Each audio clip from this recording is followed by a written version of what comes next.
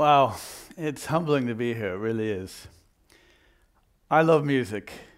In fact, I'm really in awe of the power of music and its ability to inspire and get people engaged. So, but instead of listening to me talk about it, let's go to an expert. I'm just an American whose mom thinks he needs a haircut. this is Stevie Wonder, a true expert. And Stevie says music is a world in and of itself with a language we all understand. A language we all understand. So, what's that mean? To demonstrate it, let's take a hop across the pond and think about another artist, a British artist, David Bowie. Rest in peace. One of David Bowie's greatest hits was called Let's Dance. What an amazing set of words. Let's dance. Let's, you and I, dance. And let's look at how it's written in some of the most common languages on the planet. Here's how Let's Dance written in Mandarin. Here it is in Spanish. Here it is in Hindi. Now in Russian, in French, in Punjabi, now in Japanese, and finally English. You might recognize several of these, but you can see it's widely varied. Let's dance. Let's take a look now at how, if we used musical notes, it's written in these various languages. So, using musical notes, this is what it looks like in Mandarin. This is Let's Dance in Spanish. This is how it's written in Hindi. Again, in Russian, in French, in Punjabi, in Japanese, and in English. Look at that it's all the same. And reflecting on this, I felt like I discovered the true Rosetta Stone. Right? This is music written exactly the same no matter where you are in the world.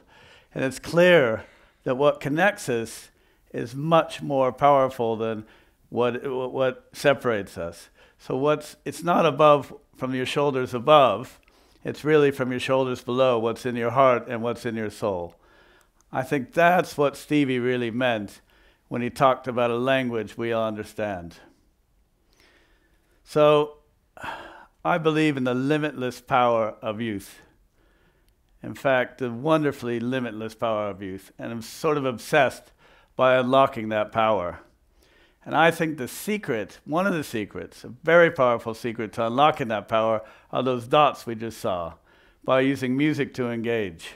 Now, I know a bit about the power of music. When I was 20, I dropped out of school to go on tour with the Grateful Dead. That was very powerful.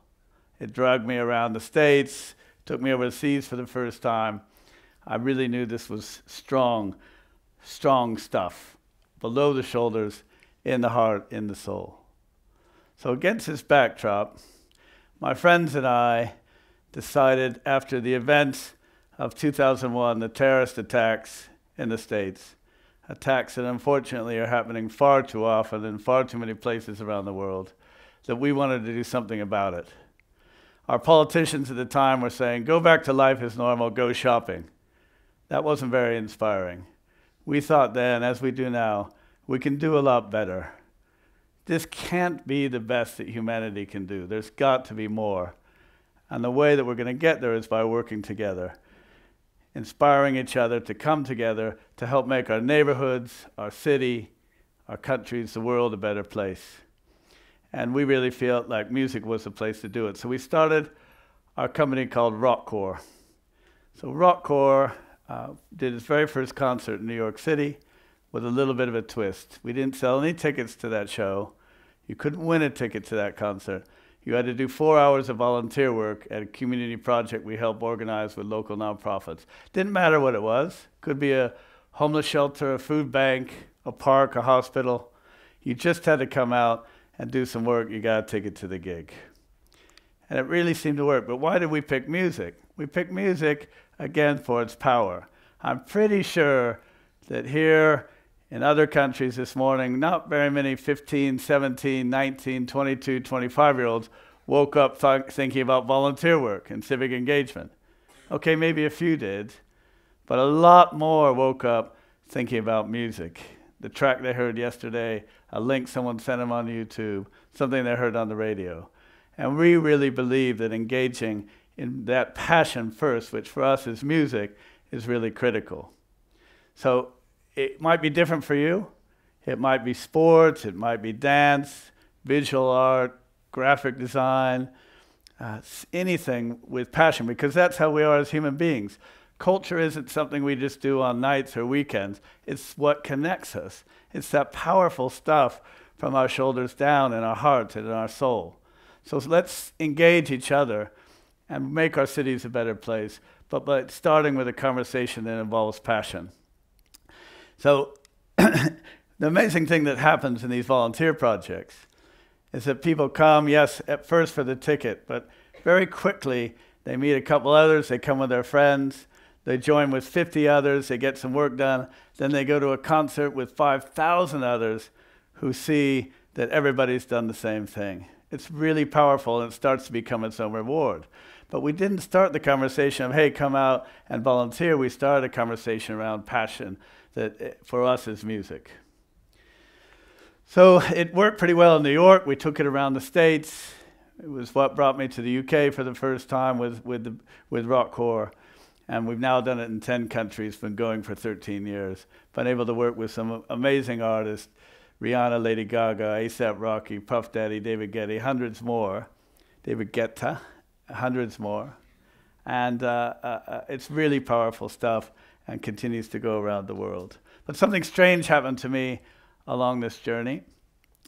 In around 2011, I was called down to 10 Downing Street. The Prime Minister, who was then David Cameron, wanted to meet with me, wanted to talk about this RockCorps thing. Now, this is sort of a strange experience for me. I'm from the west coast of the States. Growing up, I'd never met a Republican, let alone voted for one. So I thought, okay, this is a bit odd. Well, it's not exactly true. I did vote for Arnold Schwarzenegger once for governor of California, but I often say if you can vote for the Terminator for office, you do it, right?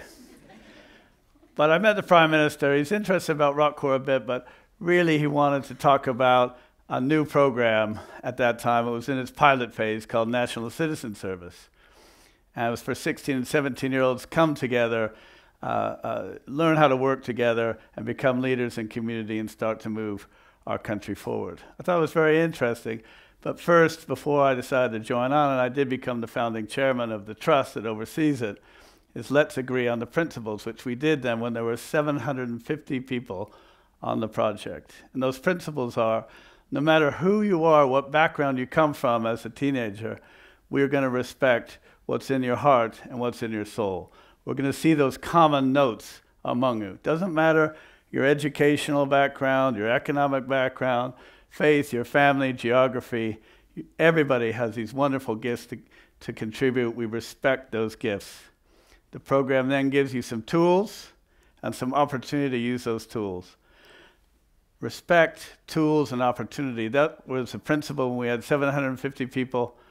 We're now up over 100,000 a year in national citizen service by staying very true to those principles about seeing what's common amongst people, sharing our similarities and what connects us. So that's national citizen service, but whether it's RockCorps or national citizen service, another thing we've learned that's very important is you have to celebrate. Okay? It's not just enough to engage and do the work. We have to step back and we have to say thanks to one another. We have to have music for us, you know, we do we do these concerts. For you, it'll be uh, maybe music, maybe a different passion, but take a moment to celebrate.